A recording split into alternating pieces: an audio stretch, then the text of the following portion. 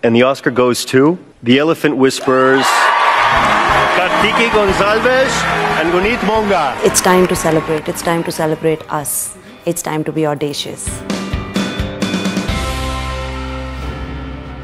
Filmmaking happened to me way early when I was 16 years old. My best friend's mom worked in international films as uh, a production coordinator, and I started as her intern's intern.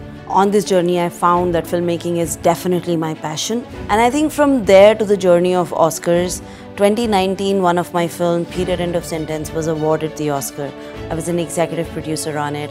And I said that time to my own team that a trophy with my name on it is coming.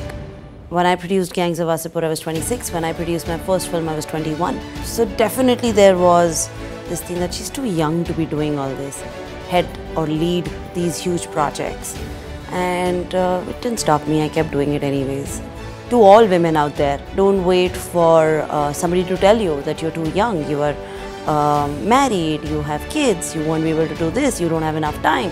It doesn't work like these. These are all jargons that are sold to us. Don't wait for a seat on the table. Just create your own table, sit on it, double down on your tribes. It's time to celebrate. It's time to celebrate us.